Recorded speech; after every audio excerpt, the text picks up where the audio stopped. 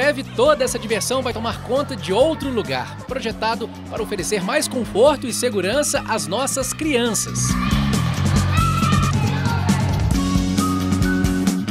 Parte do antigo estacionamento vai ser transformada no ginásio de esportes Santa Teresa d'Ávila, além de duas quadras cobertas. O espaço, com cerca de 1.500 metros quadrados, vai ter banheiros, vestiários e um depósito para os equipamentos usados nas aulas. Também foi pensado na questão da ventilação, da climatização, para ser um ambiente agradável ele vai ter um contato direto também com a área do parque, que é da recreação, e vai junto com o parque, se juntar e fazer o complexo de esporte e diversão das crianças. Tem mais uma vantagem muito legal nessa história. Com a transferência das atividades esportivas, da educação infantil e do ensino fundamental para o novo complexo, a Escola Maria Montessori vai poder aproveitar melhor os lugares usados atualmente.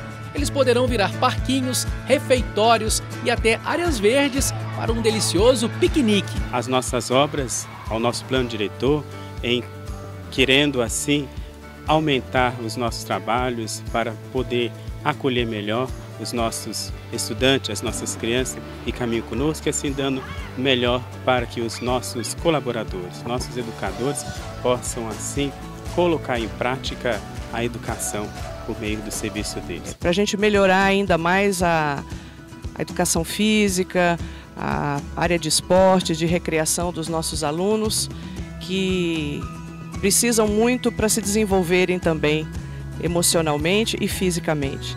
E a gente não está falando de futuro, não. A data para a empresa que ganhou a licitação entregar a obra é junho deste ano, daqui a apenas três meses. Nós estamos assim muito empenhados, muito felizes com mais esse, esse investimento, com mais essa obra e que Deus nos abençoe e nos proteja para que tudo fique e tenha os melhores resultados que nós esperamos.